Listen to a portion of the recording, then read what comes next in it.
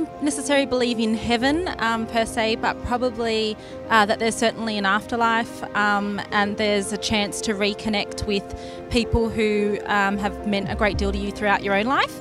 Um, I also have somewhat of a belief in um, being reborn as well, um, coming back or having a number of different lives. I think when we die, there's nothing. You die, and that was it. Like I, I believe in you have just this one life to live, and you should live it to to your fullest as much as possible. And I don't believe that there's a limb or that you end up in eternity or you're then just a spare like how do you say it? Just like surrounding people. And I don't believe in heaven. I don't believe in hell. It's just this this is the one life that you have, and after this, there's nothing.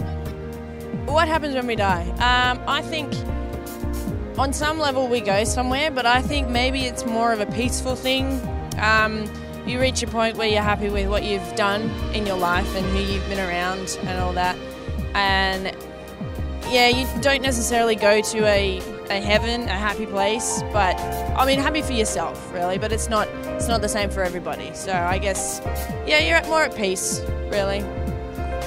I don't necessarily believe in heaven either. I do believe in the idea that, yeah, the people that you love don't necessarily leave this earth forever, but they maybe go on to a better place or they kind of stick around this place. But I don't think that your entry into the gates of heaven should be based on how you live this life because I think that's a little bit too judgmental.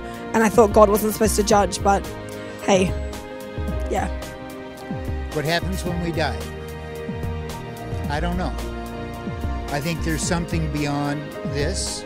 I think there's plenty of anecdotal information that there is something beyond our existence. I don't believe in heaven, even though I wish there's a heaven or something, but I really think that after our lives there's like nothing. I believe in reincarnation and the everlast, everlasting. I do believe it. I think that you are here taking bags in this life, and you go and then you come back and take more bags, and you are accumulating this bag until you be full of bags and you have everything that you need, and then you go and stay there forever. I do believe in heaven. I do believe in somewhere that you go after you die, eh, and somewhere cool and better than Earth. I do believe if, if you are good, you have your place. If you are bad, you have your place like hell and stuff. But I do believe that Jesus is gonna save everybody, and doesn't matter if we're bad here or or if you're good, because I guess if you're bad, you go to hell and then you stay there for a while, paying for the price that you, the mistakes that you made here, and then you go to heaven. I'm not sure if there's a heaven. I kind of hope that there's a hell. Uh, I'm very pessimistic. I believe that everyone should get their. Everyone should get theirs, basically. Um, if there were a heaven, I think we'd have like one of the main things that would be required is to be good to your neighbor, your brother, your friends, your fellow man. I think that may be the essential thing to enter heaven if it were to exist. What happens when we die is, yeah, you, you do go to heaven. You know, if you've lived you've lived along along the guidelines of the Lord. So um, I don't think that nothing happens when you die, and I'll always always believe that. I can't believe that when you that the human spirit and soul, you know, because like human beings are great, you know, like you know, there's Go watch religion. yeah, I don't, I don't know, man. Like, Yes, there is a heaven, and um, I believe that you have to be saved in order to get to heaven. That's believe in Jesus, that He died for you, and that He loves you. I would like to believe that there's a place called heaven.